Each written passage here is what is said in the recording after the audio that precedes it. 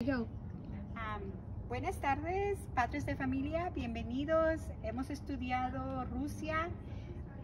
Como pueden ver, hemos hecho muchos proyectos de arte basados en los símbolos de Rusia. Como podemos ver, hemos hecho la Catedral San Basil, hemos hecho los huevitos que son parte de las muñecas ah, rusas, ah, que es un conjunto de muñecas que se llama Milushka. Luego también tenemos el ballet, que es muy común en Rusia. Tenemos el huevito también Fabergé, que es parte del símbolo. Y lo- el oso. Las banderas los hicieron ustedes. Gracias por cooperar con nosotros en esta noche multicultural o virtual. Y muchas gracias. Felices fiestas. Nos vemos. Felices fiestas.